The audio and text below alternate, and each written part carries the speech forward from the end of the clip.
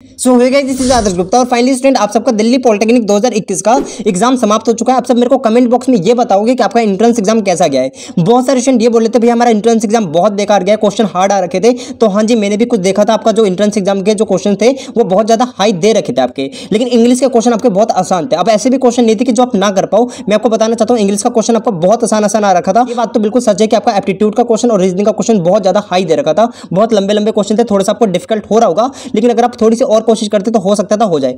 कोई बात नहीं, जो हो गया, सो हो गया। अब मैं आप सबको क्लियर करना चाहता हूँ। जो भी स्टूडेंट बहुत ज़्यादा मायूस हो चुके हैं, मैं आप सबसे बताना चाहता हूँ कि आपको बिल्कुल भी मायूस नहीं होना है, क्योंकि अभी तीन सितंबर जो है, उस टाइम आपका क्या आएगा? अभी रिज़ल्ट आने वाला है। जब तक आपका रिज़ल्ट नहीं आता, तब तक हम कुछ भी नहीं कह सकते हैं। पहली बात तो ये जब तक आपका रिज़ल्ट नहीं आता, तब तक आपको मायूस नहीं होना है। रिज़ल्ट आपका तीन सितंबर को आएगा। बिल्कुल भी आपको पैनिक वगैरह नहीं होना है, ठीक है ना? ये चीज़ तो आपको क्लियर हो गई। अब बहुत सारे स्टूडेंट ऐसे जिनका एग्ज़ाम बहुत अच्छा गया तो कॉन्ग्रेचुलेशन आप लोगों को। सो स्टूडेंट प्लीज़ आप कमेंट बॉक्स में ज़रूर मुझे बताना कि आप सबका एग्जामिनेशन कैसा गया है और क्या आपको डिफिकल्टी वहाँ पे फेस करनी पड़ी थी? और आपको ये भी बताना है कि हमें आगे आने वाली वीडियोस जो हमारी होने वाली है, उसके अंदर हम कौन कौन सी और वीडियोस लेके आए जैसे आप सब बहुत ज़्यादा कमेंट कर रहे थे, भैया कट ऑफ़ के ऊपर वीडियो बना दो। तो फाइनली मैं आप सबके लिए कट ऑफ़ के ऊपर जल्दी ही वीडियो लेके आ जाऊँगा। डोंट वेरी ठीक है? अब मैं आप सबसे रिक्वेस्ट करना चाहता हूँ डिस्क्रिप्शन बॉक्स में मैंने बहुत सारे इंपॉर्टेंट वीडियो की लिंक दे रखी है। जैसे आपका हो गया काउंसलिंग किस तरीके से करी जाती है और आपका बेस्ट कॉलेजेस कौन कौन से फ़ी स्ट्रक्चर क्या इन सबकी मैंने वीडियो की लिंक डिस्क्रिप्शन बॉक्स में दे रखी है। आप वहाँ से देखिए। और देखो, बिल्कुल भी आपको पैनिक वगैरह नहीं होना है जैसा भी आपका एग्ज़ाम गया है, कोई बात नहीं, अगर रफ बेकार गया थोड़ा सा कोई बात नहीं अच्छा गया तो वेल एंड गुड